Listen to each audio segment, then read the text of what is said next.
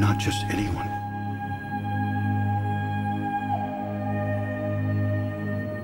One day, you're going to have to make a choice.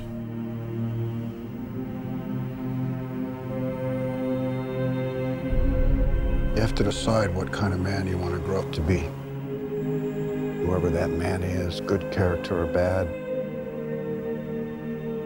is going to change the world.